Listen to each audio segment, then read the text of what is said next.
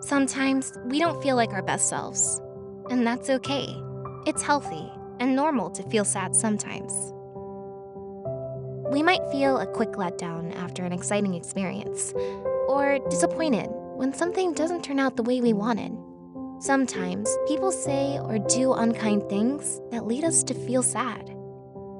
If we are not accepted by others for who we are, that can cause a lot of pain too. Losing someone you love can make you feel sad and lonely for a long time. Maybe it feels like you don't know who you can talk to about how you are feeling inside. Everybody gets sad. Sometimes we do not even understand why we feel sad. And that's okay too. When someone we know is sad, we may not always be able to tell from the outside. Like how you can see when someone has a cut on their skin or a broken bone but you maybe can't see when someone has a tummy ache or a sore throat, unless they tell you about how they are feeling. When you are feeling sad almost all the time, and when you don't often know why you're sad, it can also feel really confusing and scary because it's hard to understand what is happening. No one is alone in feeling sad, and no one should be ashamed of it.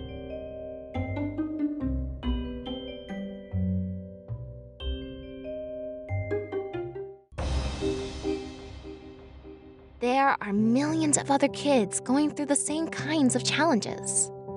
It can be scary to talk about how you feel, especially when you are not feeling like your best self. It is really brave to share. One of the best things about being brave is that you get to learn how strong and loved you are. Even when you are feeling sad, you still have so much to give to the world.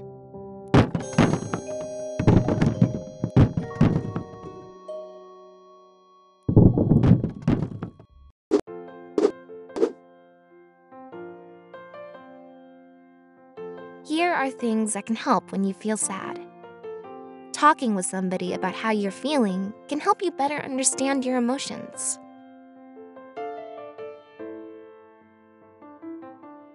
When people who care about you know how you are feeling, they can help you too. It's also important to exercise. Do your favorite creative activities, like painting, and get enough sleep. Movement and rest are good for your mind, just like they're good for your muscles.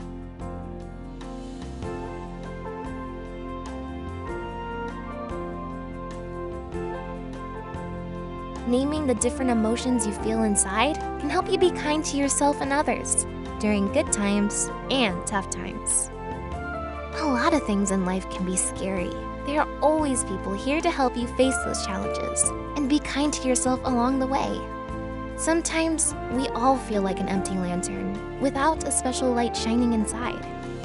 A thoughtful word or action from someone can be like the warmth and glow of a candle that illuminates and lifts our lantern.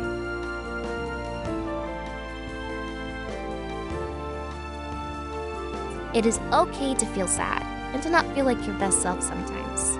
If your sadness is more serious and long lasting, it may be a sign to ask someone for additional help, like a sibling, or a friend, or an adult you trust. Remember, you are more than how you feel right now. You are not alone. And you are kinder and braver than you'll ever know.